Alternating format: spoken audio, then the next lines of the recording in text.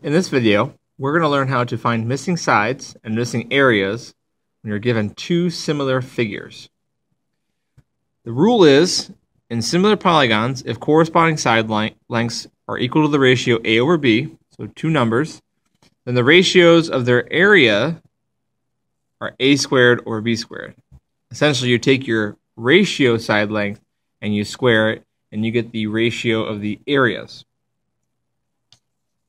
Now what you're going to do is, in each example, determine what you are given, what you are asked to find, and essentially you can make a pathway to, um, you know, throughout the problem. So for example, if I ask you for a area, you know you need an area ratio. So if you're not currently given an area ratio, you have to create one. And that's where the squaring and square rooting inversely come in. So in example two, it says triangle ABC is similar to triangle HGF.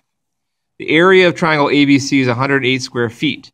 Find the area of triangle HGF. So they give you the area of the larger triangle ABC, and they don't know the area of this one. You have to find it. So if you're finding the area of a triangle, remember that your units will be squared. So feet squared, meter squared, whatever. In this case, it is feet squared, so units will be squared or feet squared. So if I need to find an area, I need an area ratio. I currently don't have any ratio of areas, but I do have what's called a side length ratio. And you can pick any two or any two numbers for a pair that you want. Uh, for example, if you want to use 48, BC, second two letters, BC, second two letters, GF, GF is 8. So 48 over 8 is your side length ratio, or if you simplify that, going to be 6 over 1. Divide both of them by 8. This is your side length ratio. You can't use this one to find areas because it's not an area ratio. But you can take this and change it into an area ratio by using the rule I stated in the beginning of the video. To go from a side length ratio to an area ratio, you're going to square it. So you're going to square 6, and you're going to square 1, and you get 36 over 1. That is your area ratio. And now that you have this, you can find that missing area. So take your area ratio, 36 over 1, set it equal to another ratio. You have area that's given to you, 108 square feet, and you have a missing area, which we'll call x. Let's go to the diagram real quick. ABC is the larger triangle. So that means the area should go with the larger number here. In this case, it's 36. So the area of the larger triangle, 108, goes with the larger number, 106, on top. The smaller triangle, the area is unknown. So HGF, we don't know what that is. That is the smaller triangle. That goes with the number 1, the smaller number, x. Cross multiply and solve as you would any other problem. So 36x equals 108. 36 times x, 108 times 1. Last step, divide both sides by 36. And 36, 72, 70, or 108. That's going to be 3 square feet. So the area of the smaller triangle is 3 square feet. And it helps to identify what units to use if you just look at the beginning, in the very beginning, determine whether or not your units are going to be squared or uh, one dimensional.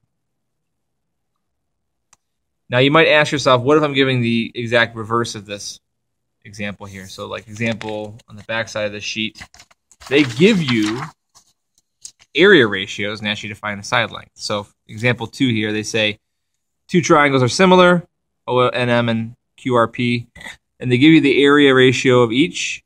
So 9 over 49. Not necessarily the areas, but that's the area ratio. So take this area ratio and since you're asked to find ON, the side length, you need to create a side length ratio from this area ratio. So this is an area ratio. You want to go to a side length ratio. And in order to do that, you need to do the inverse of squaring square root. Square root this ratio to turn it into a side length ratio. So 9 and 49 both get square rooted. ends up being 3 over 7. This is your side length ratio. So now we can use this in our proportion to find a side length. If you're asked to find ON, identify where that's at right here. ON is the first two letters of the statement. QR, first two letters of this statement here.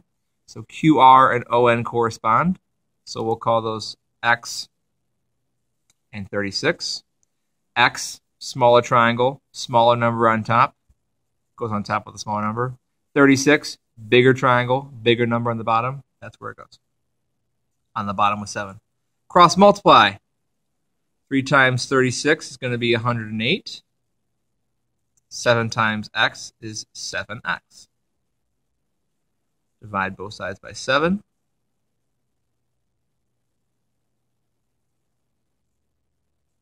So 108 divided by 7 will be approximately 15.43. And the units are inches, so it's going to be inches. Not inches squared, because this is a side length and not an area. So whether you start off with an area ratio or a side length ratio, you now know how to go from you know back and forth. So if you're given area ratio, you want to find a side length ratio, you are going to square root. If you're going from a side length ratio to an area ratio, you're going to square. Uh, a couple of mistakes that you don't want to make. You don't want to set up an area ratio equal to a side length ratio. Those don't match up. They're not equal. Also, keep big over small, big over small, or small over big, small over big, but do not mix them up. It is your choice to begin, but once you have made that choice, make it the same throughout the problem. So in this case, I was given small over big. I kept all my fractions small over big for this example. That's it.